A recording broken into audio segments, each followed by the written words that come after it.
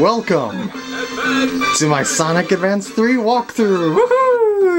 Let's just start the game right away. I'm not going to do anything really special for this one. It's just going to be a stage run because in order to show all the characters that I unlocked and stuff like that, I would have to restart my whole game and I do not want to do that because I would ha have to do everything over and that would suck very, very much. So let's just uh, start with zone 1 here, and uh, yeah, the first ring is right here. Yeah, this is a stage ring. By the way, you can pick these guys up by pressing up. This is an act ring. This will take you to an action raptor, or acts 1 through 3, yeah, whatever. They don't really say things much different. They aren't very interesting in the very least. But anyway, let's start. Uh, let's just show some of the controls. You know, A, A and B button to jump and stuff like that. The B button for uh, roll. Oh, actually, that would be the A button on this GameCube controller, wouldn't it? Since I'm playing this on a, vi vi virtual, I was gonna say Visual Boy Advance, but it's a Game Boy player for the GameCube. Uh, when you hold the R button, your partner character will flash like that, and then you'll get your team attack like that. Woohoo! Look at that! Yeah, that's how you do your team, uh, team attacks or team moves. There's, uh, like, five different teams in the game. I don't plan on showing those either. It, there's only, like, five of them, and they don't really do anything all that special or game-breaking. I'm, I, you know, I'm just a classic Sonic player, so to speak, so let's just get this going. You know how Sonic plays, you've seen me do it before. Hold down and press the jump button to spin dash, all that good stuff like that. Give me my platform. Yeah, those switches make those platforms appear temporarily for a short amount of time.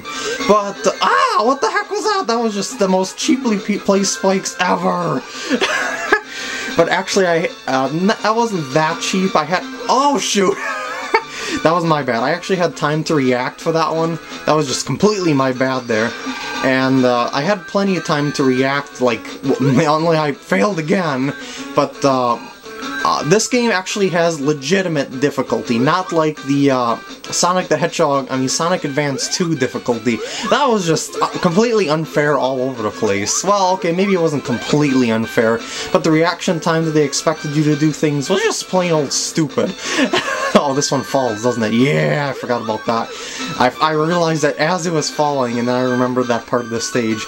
But I'm off to a great start in this walkthrough, aren't I? and, uh, okay. I knew there were spikes there, so I took it nice and slow there. And bouncy, bouncy, bouncy, okay. ah, what the heck? Okay, that was an ambush. Crap, it's a trap! oh, wait. And if you spin on these things, it'll like platforms appear like that, and you can kind of grab these things like that, and there you go. Woo!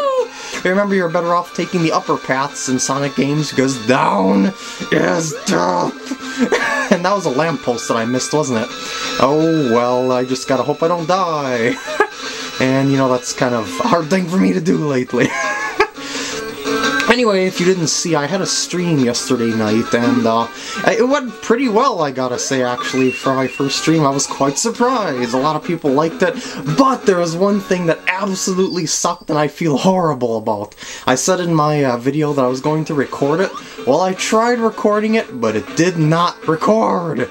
It turns out that you have to go and, uh, after you want to stop the recording, you can't just, like, close the window or um, you just can't press stop recording. It's not as simple as that. You actually have to stop the recording, then save the recording. Otherwise, it doesn't save, which doesn't make any sense whatsoever from a recording point of view, because when you record something, it should save automatically, and then you choose if you want to keep it or not in your video. So what that, that made absolutely no sense.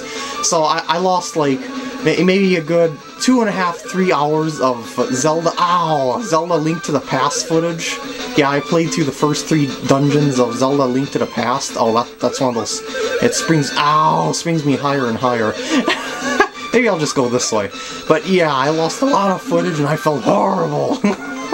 but there's nothing I can do about it. But the people that came had a lot of fun, and I, I probably will have another stream one of these days, I don't know. I just don't want to have any more of those kinds of mistakes, you know, because that's a lot of uh, footage to lose. Oh, there's my platform. I was wondering where the heck it was. And spin, spin, spin. Hey, wh why does that, why is that going up? Uh, can I climb these like, yes I can, okay. I forgot about that. You can climb them like that. You can go through them. Ooh, there should be a, there's spring, yep. Ooh. And yeah, oh boy, jump down blindly. Okay, that was not really up blind, but woo, Sonic 2. Yeah, those things remind me of Sonic 2's where they were first, you know, Sonic 2 where they were invented. Oh, and by the way, as before, you can press the R button to do tricks in midair. I forgot to mention that as well.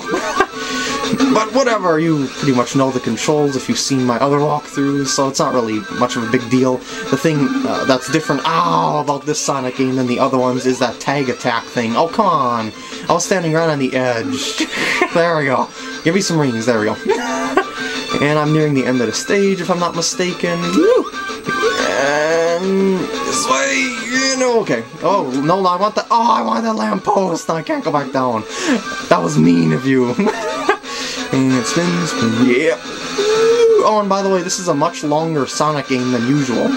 You know, it's uh, uh, uh, pretty dang long for a Sonic game. You know, a 2D Sonic game, usually 2D Sonic games I could finish in one day, but this one might take me two or three days, actually. It's that long of a game, which is actually pretty cool then, because I really get to work on a Sonic game for more than one day. and woo!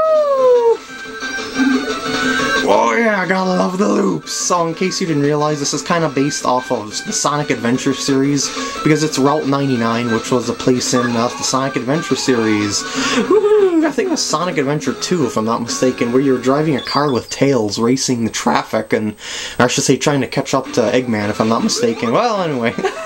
Next stage! Whoa! Uh, oh, there it is. and there we go, it's the Act 3 coming up. And down we go! Woo! That's a big improvement in this game compared to other Sonic Advance games, is that you can grind on any part of the rail. So if the rail is angled, you can actually land on it instead of falling right through it. They finally realized their mistake after two games. yeah, they had it in Sonic Advance 2, right? That stupid rail grinding system? Yeah, I'm pretty sure they did. Unless I'm thinking of Sonic Advance 1, but I don't think I am. Oh, by the way, that's a Chao. Yeah, you're supposed to find Chao in levels. I forgot what they do, though. It's been such a long time. But that that's another reason why I'm not resetting my game, because I haven't... Um, I, I, I am looking for the Chao myself and haven't finished, uh, haven't found all of them yet, and this part is coming to an end. So, yeah, I don't want to restart my game because I want to keep the Chao I have. So I guess I will see you guys in the next